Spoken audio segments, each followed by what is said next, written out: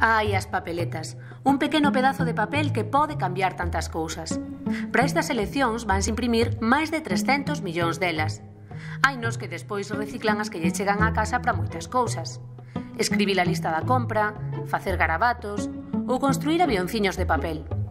Por certo, desta volta en Marea non enviou papeletas, por aforrar, claro.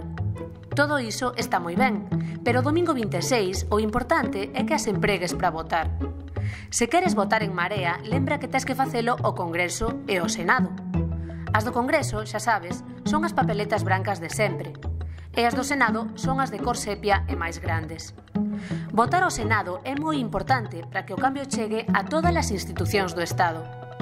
Lembra que para votar ao Senado tes que riscar nas tres caixiñas que aparecen ao carón do identificativo de En Marea e que só podes facer tres riscos en toda a papeleta.